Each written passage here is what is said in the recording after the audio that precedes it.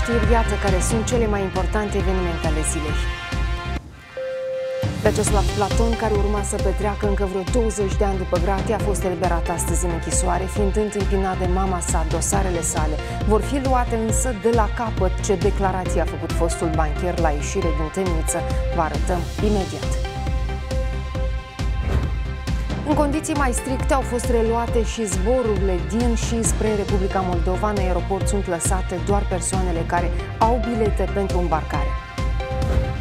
Printre cele 5 persoane care au decedat astăzi din cauza coronavirusului figurează și un angajat al Poliției Naționale. Ofițerul avea 42 de ani și suferea de mai multe boli cronice, iar în timpul tratamentului starea lui de sănătate s-a agravat. Cod galben de inundații în nordul țării din cauza ploilor puternice există riscul să se reverse apa în lunga râului Prut din raioanele Bricen și Edineț.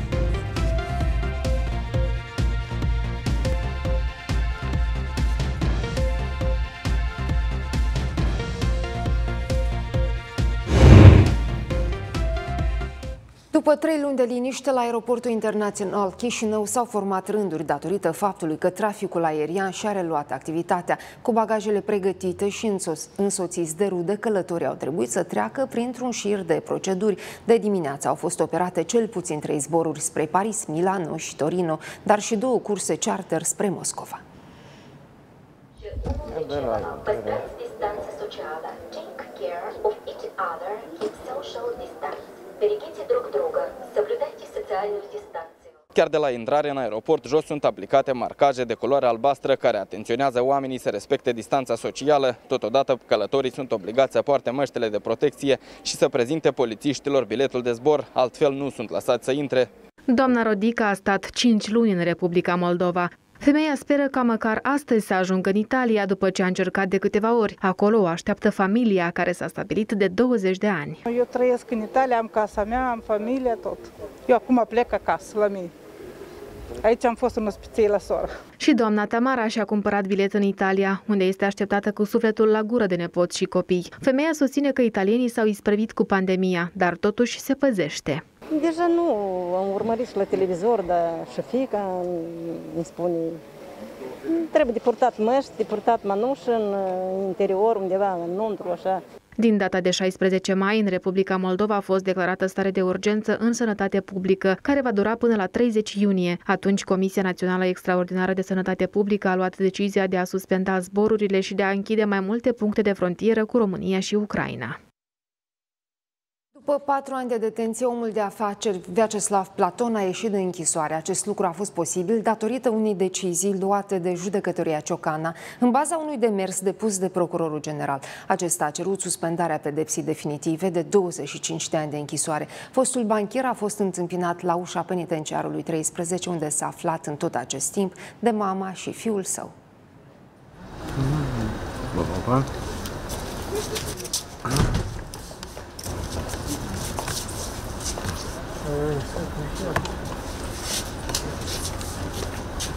Platon susține că este meritul lui că a fost eliberat. El mai spune că nu are de gând să plece din țară, ci din contra va lupta pentru a întoarce miliardul furat. Mai are câteva planuri pe care și le-a notat undeva, dar pe care nu a vrut să le facă publice. Сегодня моя главная задача – это восстановление справедливости, это возврат нашему народу украденных у него денег. Я буду оставаться в стране, я буду помогать нашим людям Как вы будете им помогать? Чтобы вернуть деньги, которые были украдены? Значит, э, я, в принципе, у меня намечены планы, так, четко прописанные алгоритмы. Я понимаю, что мы будем делать, как мы делать последовательно, по пунктикам.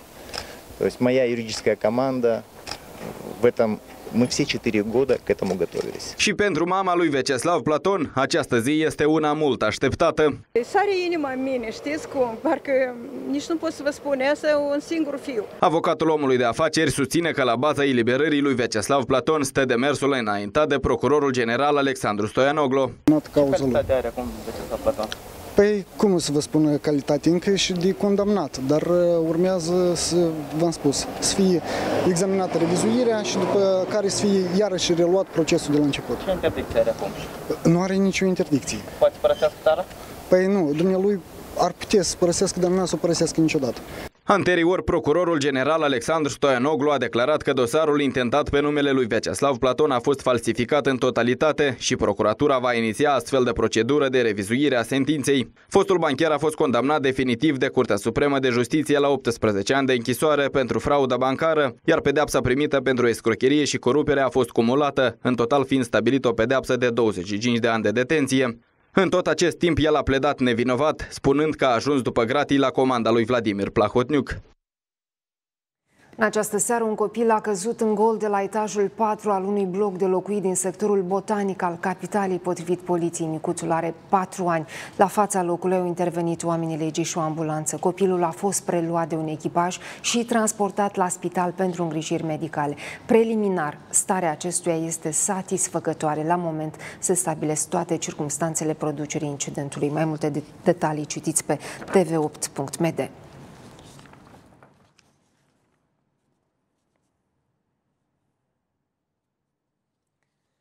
astăzi, transportul public a revenit la un regim restrictiv de călătorie. Noul orar a dat bătăi de cap șoferilor și pasagerilor.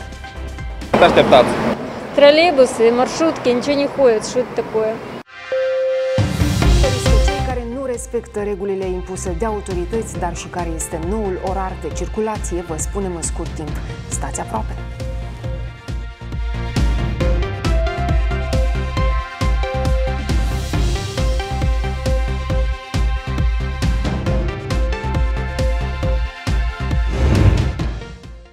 Restaurantele și sălile de sport, printre ultimile care încă erau închise din cauza pandemiei, pot deja să primească vizitatori, însă localurile trebuie să respecte un set de măsuri restrictive. Cele care au îndrăznit să-și deschidă ușile erau aproape goale astăzi, timp ce alți proprietari au continuat să stea cu lacătul pus, fie pentru că au dat faliment între timp, ori pentru că nu vor să riște cu sănătatea clienților. Până la carantină, această sală de forțe era plină cu oameni chiar și în prima parte a zilei. Astăzi însă aici făceau exerciții doar antrenorii. Cei care vor să-și tonifeze corpul și să se pregătească de zilele de plajă trebuie să știe că nu au acces în sălile de forță la vestiare, baie și piscine.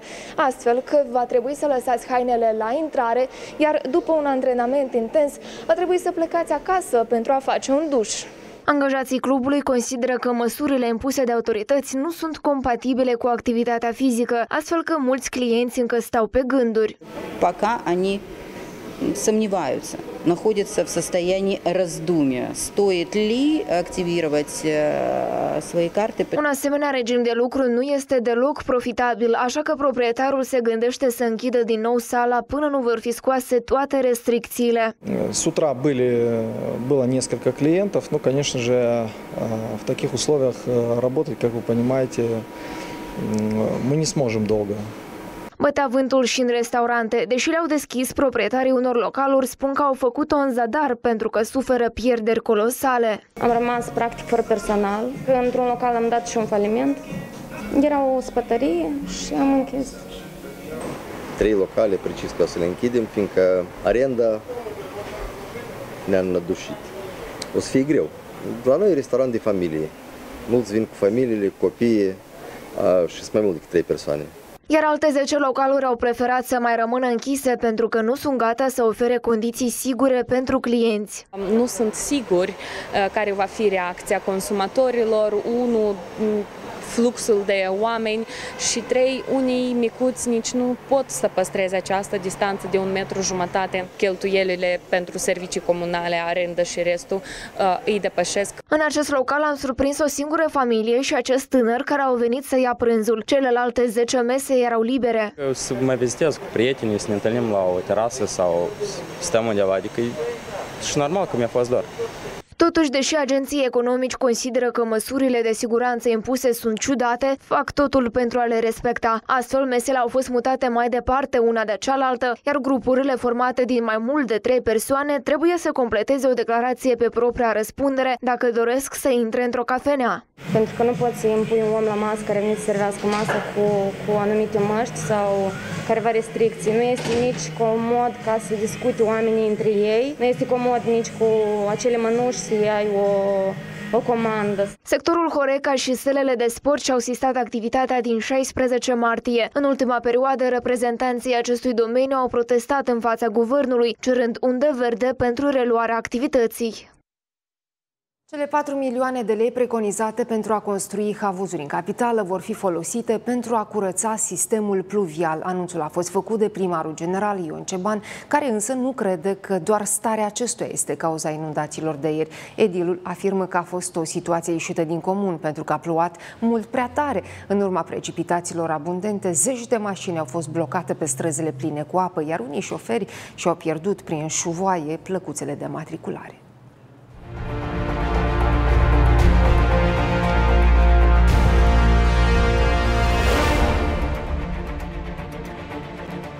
Una dintre cele mai inundate străzi a fost tradițional strada Albișoara, care se transformă într-un adevărat râu după fiecare ploaie. Mașinile au fost prinse până la jumătate în apă.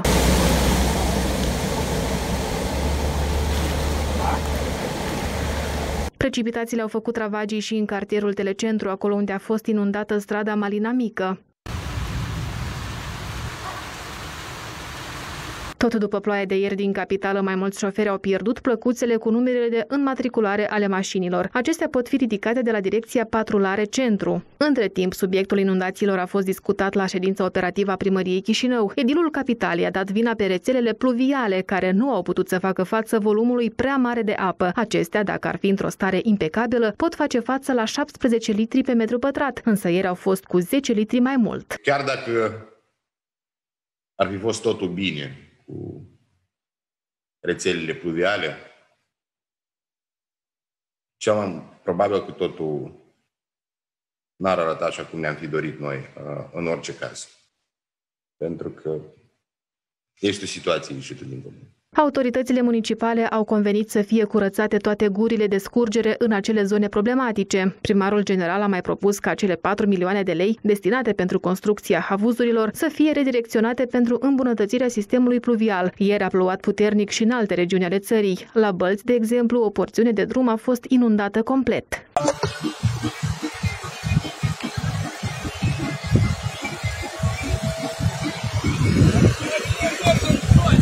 Potrivit meteorologilor, și în următoarele zile se așteaptă precipitații cu descărcări electrice, iar în raionul Briceni, de azi și până pe 19 iunie, este în vigoare un cod galben de inundații. În legătură cu precipitațiile puternice căzute în cursul superior al bazinului hidrografic al râului Prut. Respectiv, se așteaptă creșterea în continuare a nivelului apei pe sectorul satul Criva, orașul Costești Stânca, în medie cu 2,5 metri. Un șofer și-a găsit sfârșitul după ce a plonjat cu mașina într-un iaz din apropierea orașului Cimișlia, deși în ajutorul lui au sărit mai mulți trecători care l-au scos la mal, el nu a mai putut fi salvat. Versiunea preliminară arată că bărbatul în vârstă de 42 de ani a pierdut controlul asupra volanului din motive încă necunoscute.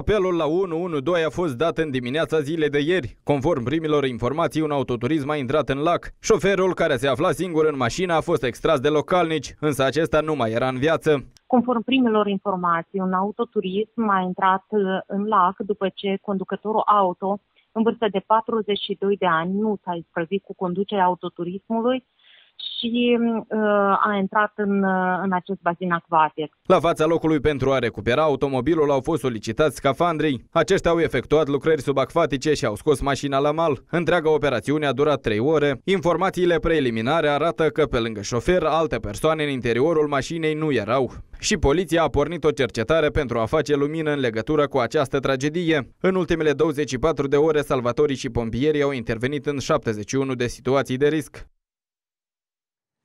Vestea că de astăzi transportul public are un regim special nu a fost auzită de toți locuitorii capitalii în cele 5 ore în care troleibuzele și microbuzele nu au circulat conform deciziei, stațiile de așteptare s-au umplut de oameni. Aceștia așteptau cu nerăbdare să vină măcar ceva ca să poată ajunge la destinația finală. O altă restricție se referă la numărul maxim de pasageri. În troleibuze se spune în decizie trebuie să fie cel mult 40 de oameni, iar în microbuze nu mai mult decât numărul de locuri pe scaune. Nu toți șoferii au respectat noile reguli. A luat mai mulți pasageri decât prevede regula și acest șofer de maxi-taxi. Bună ziua! Domnul șofer, cunoașteți că nu se permite să luați oameni în picioare? Nu am auzit. Auzi? Ia uitați, câți ani au Sunt în picioare. Câți? Doi? Da. Nu se... Așa mulți?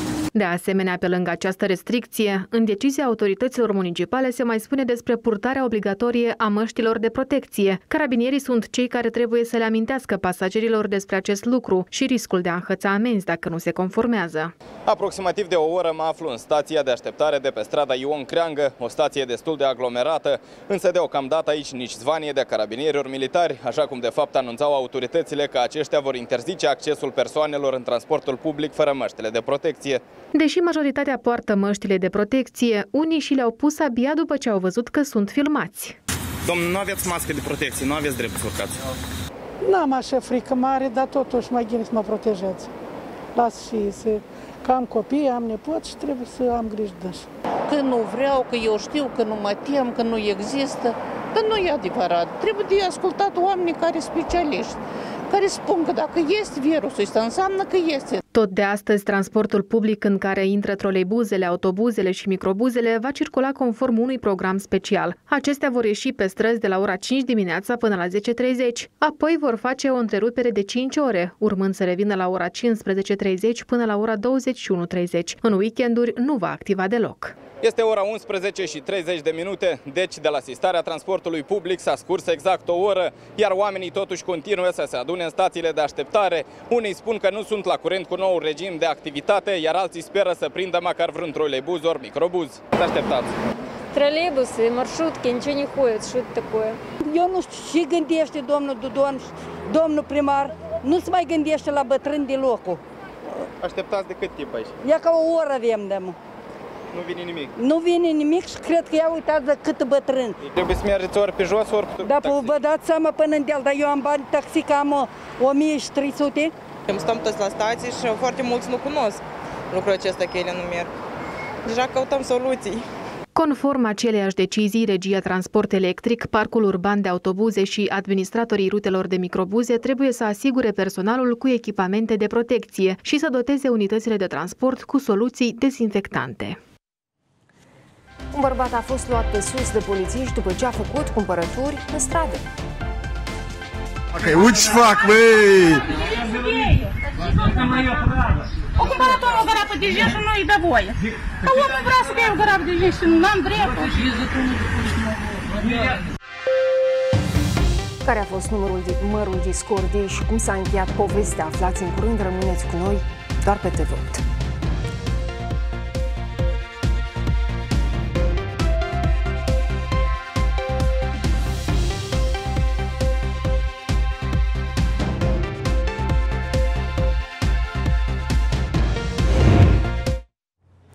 Grupuri mai mici, politicienii au trecut pe la bustul lui Mihai Eminescu, unde au comemorat 131 de ani de la moartea marelui poet. Șeful statului a venit însoțit de președinta Parlamentului și de consilierul său prezidențial, responsabil de domeniul educației. După ce s-au recules în fața sculpturii, aceștia au evitat să discute cu presa, iar primarul general a venit de unul singur, acoperindu-și fața cu o mască de protecție.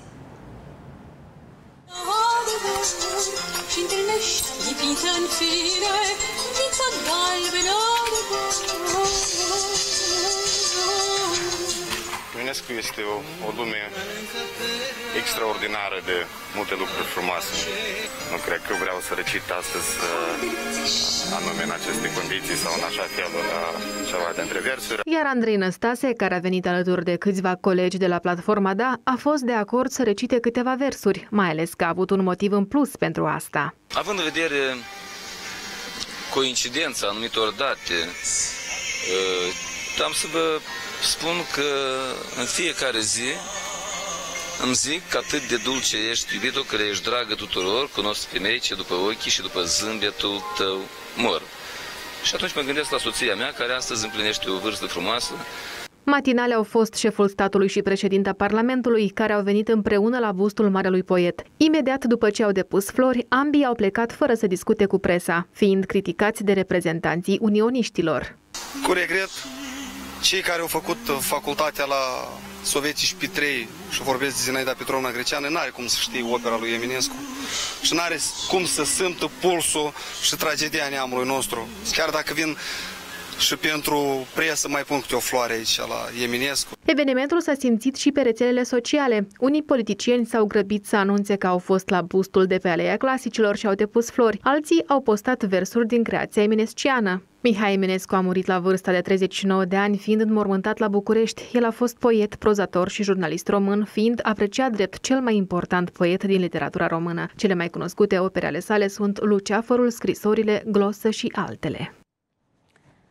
Dacă va fi înregistrat, din partidul lui Gheorghe Cafcaliuc vor face parte foști colegi de la Ministerul de Interne, dar și designerul Daniel Racoviț, alături de care a încercat să schițeze echipul perfect pentru polițiști. Într-un interviu pentru TV8, colonelul, care de un an nu se mai regăsește printre angajații instituțiilor de forță, spune că a adunat bani pentru constituirea partidului din donații, în condițiile în care din echipa sa fac parte și oameni de afaceri. Totuși, nu a vrut să spună ce sumă a reușit să adune. Ca noul partid să fie înregistrat, trebuie să numere cel puțin 4.000 de membri. Potrivit unui comunicat de presă emis în urma ședinței de lucru, partidul Acasă Construim Europa își propune să devină unul cu viziuni pro-europene, de centru-dreapta, de doctrină liberal-socială. Gheorghe Cafcaliuc și-a anunțat lansarea în politică la exact un an de când a plecat din funcția de șef adjunct al Inspectoratului General al Poliției, după ce democrații au plecat de la guvernare. Din echipa sa fac parte medici, sportivi, cercetători și artiști care sunt novici în politică. Printre ei se numără Livi Baziuc, fostul șef al Inspectoratului Național de Patrulare, demis din funcție în februarie anul trecut, și Daniel Racoviță, fondatorul casei de modă ce poartă numele, s-a alăturat grupului. Întrebat de TV8 din ce bani își formează partidul, colonelul a declarat că unii membri ai echipei sunt antreprenori cu afaceri de zeci de ani și au făcut o contribuție financiară. Cât mai exact, nu a precizat. Uh-huh. Ne propunem săptămâna aceasta, sau săptămâna acestea, sau săptămâna viitoare, dacă vom găsi un sediu unde va lucra grupul de inițiativă pentru înregistrarea partidului, să facem invitații la toată presa, să vedeți uh, unde ne-am amplasat, să ne puneți uh-huh. toate întrebările de care uh, dumneavoastră considerați necesar. Totodată, Gheorghe Cafcaliuc afirmă că formațiunea sa nu este un satelit al vreunei alt partid. Acest partid este un partid nou, repet, cu oameni care n-au mai fost niciodată în politică, dar sunt buni profesioniști, adevărați patrioți Republicii Moldova. Iar despre declarațiile anterioare ale unui fost șef de la Moldața că ar fi coordonat exportul de țigări, anabolizante și pietre prețioase pe timpul guvernării PD, spune că sunt nefondate. Mai mult de un an de zile nu sunt în funcție și dacă era măcar un pic de adevăr în uh, ceea ce a spus acest individ, care eu consider un killer moral, probabil organele de drept erau să dea un răspuns la multe întrebări. În ziua în care și-a anunțat intenția de a fonda partidul, colonelul s-a lăudat și cu un filmuleț în care își prezintă satul de baștină și familia. Satul meu de baștină este pentru mine totul. Aici sunt rădăcinile mele, aici sunt uh, bunicii, străbunicii, înaintașii noștri. Și așa de mari suntem. E bunica să vă strâng o așa în braț. Partidul încă nu este înregistrat la Agenția Servicii Publice. După ce a plecat de la Inspectoratul General al Poliției, Cafcaliuc s-a angajat la o companie petrolieră, fiind responsabil de securitate. În ultima sa declarație de avere la plecare, colonelul a indicat un salariu de peste 200.000 de lei, o vilă, două apartamente, două terenuri și un automobil. Cele două mașini prinse ieri sub un gard instalat în jurul unui șantier vor fi reparate pe banii companiei de construcții. Despre asta a anunțat preterul sectorului Buicani, care a precizat că instalația nu a rezistat din cauza inundațiilor, iar acestea, la rândul lor, au fost provocate de lipsa sistemului pluvial.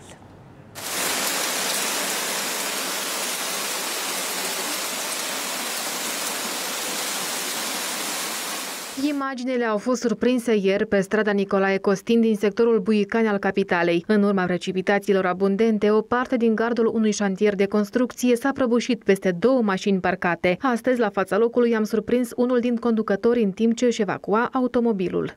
Să încercăm să o, să o reparăm. Și cine poartă răspundere? Să lămuresc organele. Dosarul e la poliție. Da. Este în intrală?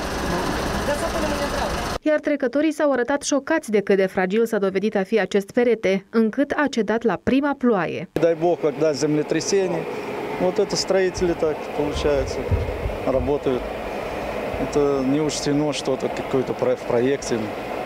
Все, пожалуйста, первый дождь сильный, все, пожалуйста, вот Incidentul a fost discutat și la ședința operativă a primăriei Chișinău, iar pretorul sectorului Buicani a declarat că lucrările de construcție a blocului au început în lipsa actelor permisive. Potrivit lui Vadim Brânzaniuc, în luna decembrie anului trecut, Curtea Supremă de Justiție a anulat toate actele, iar municipalitatea a astupat groapa de fundație. Atunci când am început astuparea gropii de fundație, uh, am examinat to, în ansamblu tot ce ține de acel șantier și inclusiv cei care l-au edificat au dat asigurări că gardul de, de protecție va rezista. Pretorul a mai precizat că, deși în zonă au mai fost ridicate blocuri de locuit, companiile de construcție nu au avut grijă să amenajeze un sistem de scurgere a apelor pluviale. Din spusele lui, agentul economic își asumă responsabilitatea și va compensa toate cheltuielile proprietarilor celor două mașini avariate, iar peretele a început să fie demolat în întregime. În zilele următoare, în locul lui va fi ridicat un alt gard de protecție. De cealaltă parte, firma vizată susține că gardul a fost construit pentru a delimita teritoriul lor de o altă construcție construcție ilegală vecină, amplasată în cartier de câțiva ani. Un nou conflict în stradă cu participarea polițiștilor și a unui vânzător ambulant. Un bărbat care a cumpărat vin de lângă o piață a fost luat pe sus de oamenii legii ca să depună mărturii împotriva comerciantului. Bărbatul s-a împotrivit, iar asta a generat un adevărat scandal. Imaginile au fost surprinse de un trecător care i-a luat apărarea. Резко Dumnezeu uci facă, uci fac, băi! Это мое право. У кумбаратому гарапа de женщину, ну и довое. А omul vrea să bea garap de женщину, n-am dreptul. Așa a făcut omul, a cumpărat patru garapi de женщину și e sfârșitul lumii. Este interzis Conflictul s-a iscat după ce un bărbat care a cumpărat niște sticle de vin de pe strada armenească în apropierea pieței centrale a fost oprit de polițiști ca să-l denunțe pe vânzător că stă ilegal. Bărbatul s-a împotrivit să dea mărturii, iar la un moment dat, unul dintre polițiști l-a bruscat. Băi, du să-l prinde pe care a vândut ce are omul aici! Du-te la doamnă, te-i place omul duc acasă. Martor merge. El a procurat. Este filmarea. Măi, ferească Dumnezeu, băi, băieți, băi, băieți, băi, și faceți voi, băi? Выкини его это вино. Я не хочу быть свидетелем. Мне ваши данные обязаны. Да, это случай. Так, это мое. Acții șepi, bun, bravo, bravo sunteți. Hai, hai. Ați prins cel mai mare hoț în fața pământului.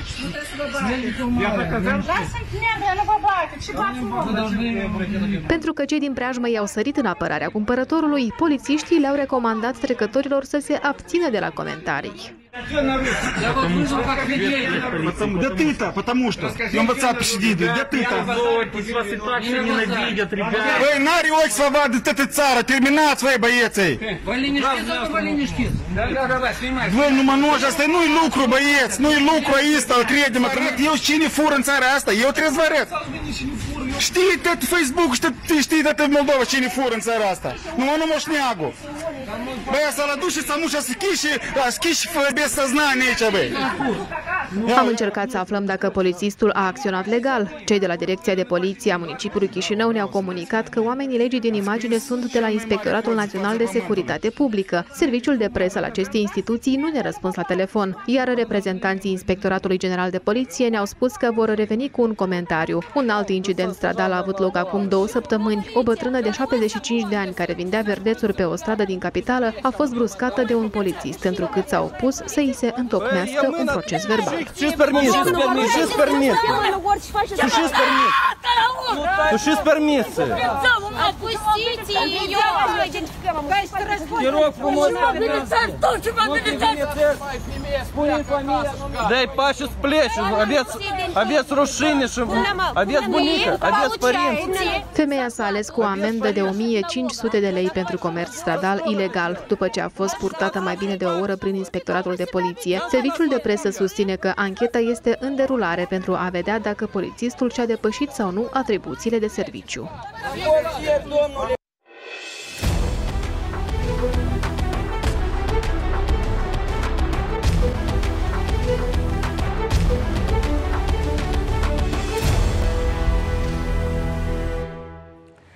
Rata pacienților care se află în stare gravă din cauza coronavirusului a crescut cu aproape 100 de persoane dacă săptămâna trecută. Erau în medie 330 de bolnavi. Acum numărul lor este de 417. Între timp, 5 persoane au încetat din viață în ultimele 24 de ore. Printre aceștia este și un polițist în vârstă de doar 42 de ani. Anunțul a fost făcut de Ministerul de Interne, care a mai precizat că ofițerul activa în rândurile poliției de peste 20 de ani. El suferea de mai multe boli care s-au agravat pe fundalul infecției. Avem înregistrat la ora actuală 417 persoane cu evoluția bolii în stare gravă. Din păcate, sunt supuși ventilației mecanice la ora actuală 24 persoane. Astăzi au fost raportate și înregistrăm în sistemul oficial 5 decese cauzate de infecție COVID.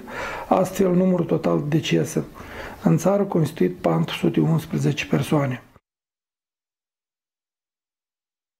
Între timp, din cele 545 de teste primare, coronavirusul a fost confirmat la 139 de persoane. Astfel, numărul total se apropie de 11.900. Cele mai multe cazuri continuă să fie înregistrate în Chișinău, unde sunt cu 50 de persoane infectate mai mult. De la începutul epidemiei, aproape 6.800 de moldoveni s-au vindecat.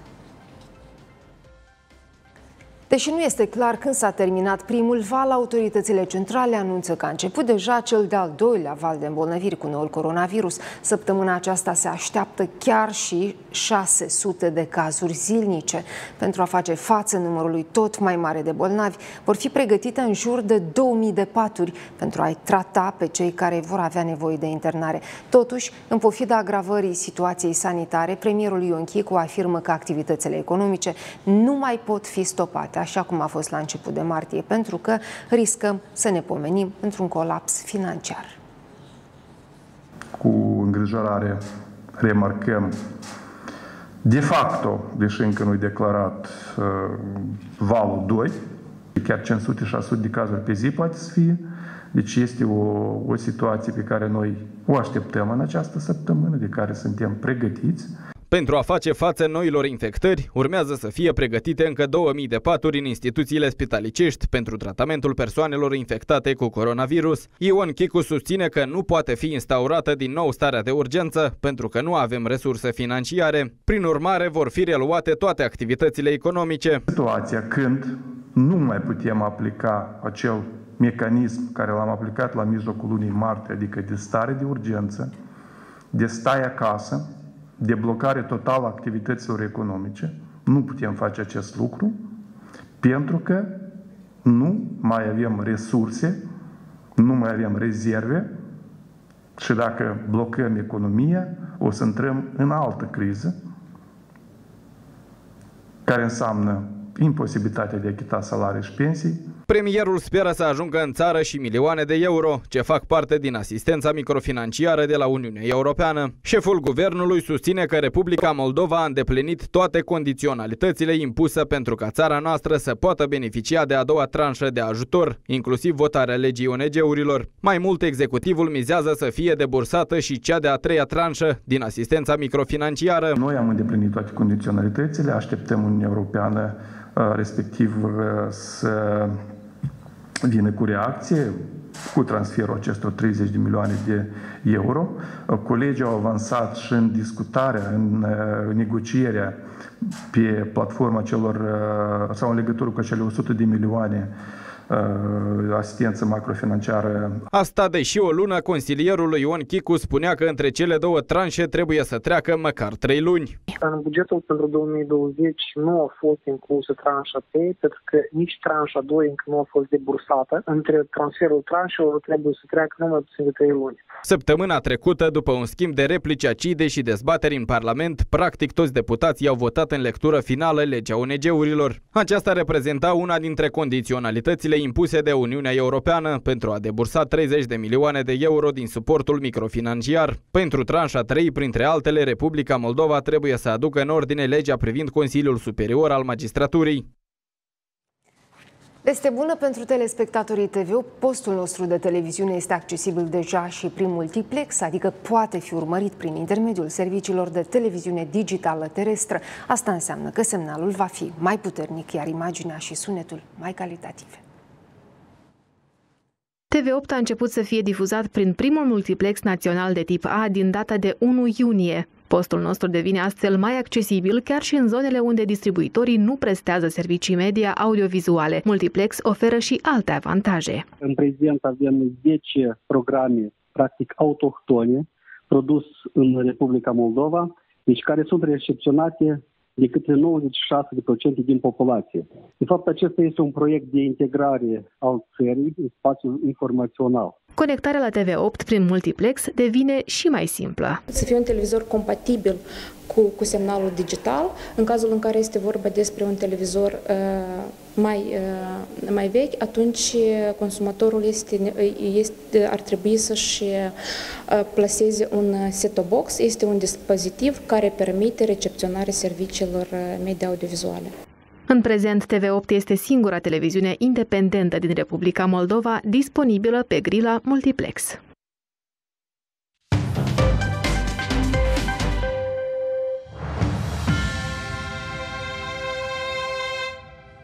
Încă un gol pe lista lui Ion Nicolaescu în campionatul Belarusului. Fotbalistul moldovean ajunge deja la șase reușite, îi mai trebuiesc încă unul ca să ajungă pe primul loc în lista celor mai buni marcatori. Etapa cu numărul 13 nu a fost deloc cu ghinion pentru Ion Nicolaescu. Și asta pentru că atacantul nostru a reușit un nou gol, aducând victorie echipei sale cu scorul de 1-0. Давать свисток, навешивает Гуренко, удар и все-таки 1-0, 1-0 на 10 минуте этого матча. Vitebsk уже имел два стопроцентнейших момента. Echipa învinsă, Riuh Brest, are la fel un moldovean în componență. Este vorba despre Gicu Andronic, care însă a stat pe banca de rezervă tot meciul. În schimb, celălalt moldovean, Igor Kostrov, a fost integralist pentru formația sa. Însă, chiar și așa, nu și-a putut ajuta echipa să evite înfrângerea. Noua Zeelandă se bucură din plin de sporturile preferate. Unii suporteri au dus atât de mult dorul competițiilor încât imediat ce au fost scoase restricțiile, au invadat tribunele. O adevărată nebunie a fost și la un meci de rugby, unde au fost prezenți peste 40.000 de spectatori. Potrivit statisticilor, în ultimii 15 ani, la nicio partidă de acest gen nu s-a adunat un număr atât de mare de fani. După ce au dus dorul sportului aproape trei luni, suporterii echipelor Blues și Hurricanes au fost scutiți din partea autorităților de orice restricție. Cei 43.000 de oameni au făcut spectacol desăvârșit în tribune, iar la capătul meciului au invadat stadionul pentru a face fotografii cu favoriții lor.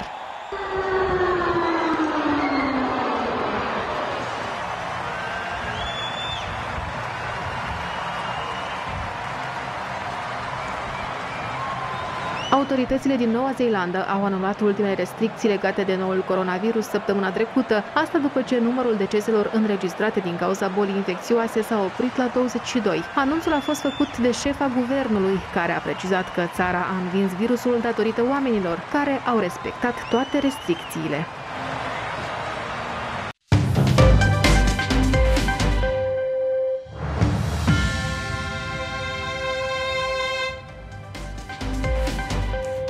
Și domnilor, atât pentru astăzi. Imediat după știri urmează rubrica Business, după care un nou film la TV8, iar la 21.30 Politica Nataliei Morari. Vă reamintesc că dacă ați filmat imagini interesante, le puteți trimite pe site-ul tv.md, iar noi le vom transforma în știre.